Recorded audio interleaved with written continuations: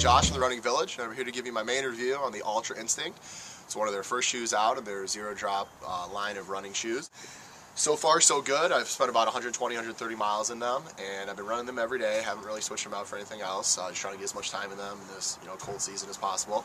Uh, really like them so far. They're great all-around shoe. They really perform well. Uh, you know, on multiple on multiple levels. Uh, I've raced in them, done a seven mile hilly turkey trot, did a flat fast 5K, uh, done some longer runs in them, been on the trails, some easier trails, some more technical trails. Just kind of try to put them through their paces, even spent a little bit of time on the treadmill. I'd say all in all, they're great if you're looking for one shoe that really hit a lot of different uh, aspects of, you know, if you're, if you're a very versatile runner and like to hit a lot of different types of terrain, they will work great.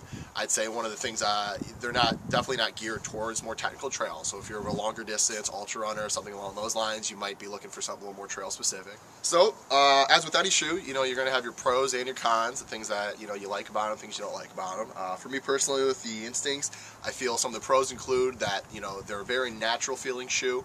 The uh, wide toe box on them that Altra is really going for in all their shoes, as well as the zero drop aspect of them, really make them feel like a natural ride, you know. And with the Instincts, you're going to get a little more cushioning than their, their model, uh, the Adams, and you're going to get that, that cushioning, that smoother ride that's going to be, well, frankly, it's going to be more comfortable for the average runner. Uh, for myself, you know, I actually have the Adams that I run in as well, and they, you know, when I really want to feel that, that barely there feeling, they're wonderful. very ultra minimal, but when I want that little more support, that little more cushioning on longer runs or that day-to-day grind, you know, the Instincts perform great. Uh, so, you know, they're fantastic with that natural feeling. Um, for the for most runners too, they're going to be very lightweight compared to some of the other, you know, more cushion shoes out there. Uh, so that's a great part of it. They fit great. I think they got a really smooth inner and it really fits your foot really well. Um, the lacing system works great, you know, don't have any issues with that. The tongue stays in place, so, you know, all in all, they seem to be just a really well-designed shoe. I only have two complaints uh, with the Instinct, and to be totally honest with you, they really won't affect the majority of the people running in them. I'm just a little weird, a little different. Um, I'm pretty flat-footed, actually, and it's never been an issue in the other minimalist shoes I've ran in because they've all had very flexible soles.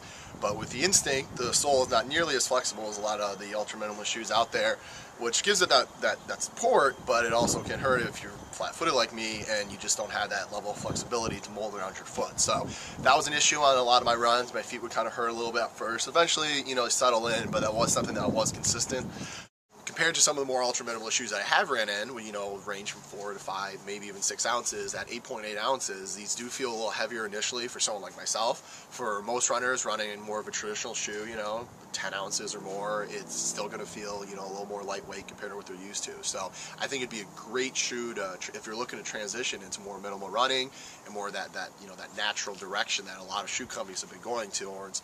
Uh, I think the Instinct would be a great shoe to, to look into. I think, you know, Altra's done a great job with their full line. They have three shoes out right now. They have the Adam, the Instinct, and the Lone Peak. And while I haven't had a chance to personally try the Lone Peak, I feel like, you know, out of the three of them, they really fit uh, they're, they're, like a complete solution for the, the, the, runner that wants to go with a zero drop natural solution. If you're going to pick one shoe for the average runner out of the, out of Altra's lineup, I think the Instinct probably would be your best bet.